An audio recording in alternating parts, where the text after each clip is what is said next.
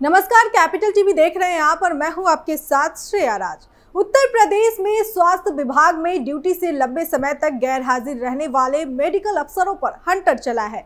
Deputy CM और स्वास्थ्य मंत्री ब्रजेश पाठक ने अलग अलग जनपदों के 17 चिकित्सा अधिकारियों को सेवा से बर्खास्त करने के निर्देश जारी किए हैं, जिनमें तीन चिकित्सा अधिकारियों पर गाज गिरी है। तो क्या कुछ है पूरा मामला, जानने के लिए देखिए हमारी ये खास रिपोर्ट।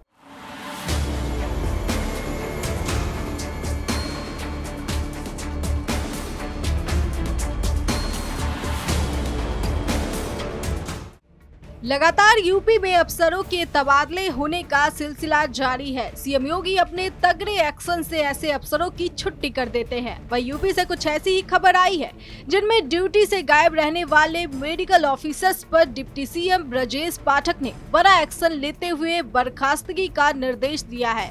उन्होंने ड्यूटी से लंबे समय तक गैर हाजिर रहने वाले अलग अलग जनपदों के सत्रह चिकित्सा अधिकारियों को सेवा से बर्खास्त करने के निर्देश प्रमुख सचिव चिकित्सा और स्वास्थ्य को दिया है। इसके साथ ही तीन डॉक्टरों पर अनुशासनिक कार्रवाई भी की गई है। डिप्टी सीएम का कहना है कि चिकित्सकीय सेवाओं में लापरवाही बरतने वाले किसी भी चिकित्सक या स्वास्थ्य कर्मी को माफ़ नहीं किया जाएगा। उनके खिलाफ कठोर कार्रवाई की जाएगी। ब्रजेश पाठक ने कहा कि प्रदेश की जनता को उच्च स्तरीय स्वास्थ्य सेवाएँ उपलब्ध कराने के लिए विभाग में बड़े स्तर पर काम चल रहा है। इसी कड़ी में आज लंबे समय से चिकित्सकीय सेवाओं से गैर हाजिर रहने वाले सत्रह चिकित्सकों को ड्यूटी से बर्खास्त कर दिया गया है।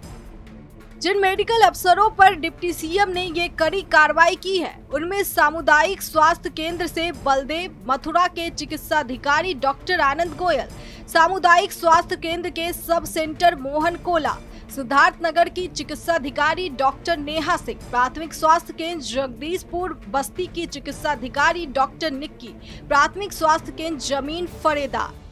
आजमगढ़ की चिकित्सा अधिकारी डॉक्टर ईशा सिंह, सामूहिक स्वास्थ्य केंद्र खिस रहा सिद्धार्थ नगर की चिकित्सा अधिकारी डॉक्टर पारुल वर्मा का नाम है। इन पर हुई अनुशासनात्मक कार्रवाई, इनकी बर्खास्तगी के अलावा तीन चिकित्सकों पर अनुशासनिक कार्रवाई के निर्देश भी डिप्टी सीएम ब्रजेश पाठक ने दिए हैं।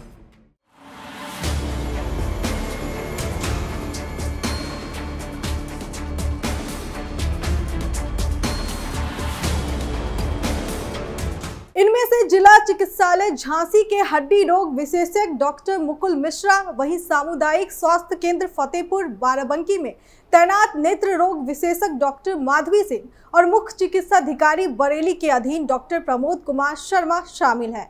सीएम योगी ने भ्रष्टाचार के खिलाफ ज़ीरो टॉलरेंस की नीति अपनाते हुए अवैध भूमि हड़पने के मामले में कथित संलिप्तता के चलते पाँच अधिकारियों और कर्मचारियों को निलंबित कर दिया इस खबर में फ़िलहाल के लिए इतना ही। बाकी खबरों के लिए देखते रहिए कैपिटल टीवी उत्तर प्रदेश। नमस्कार।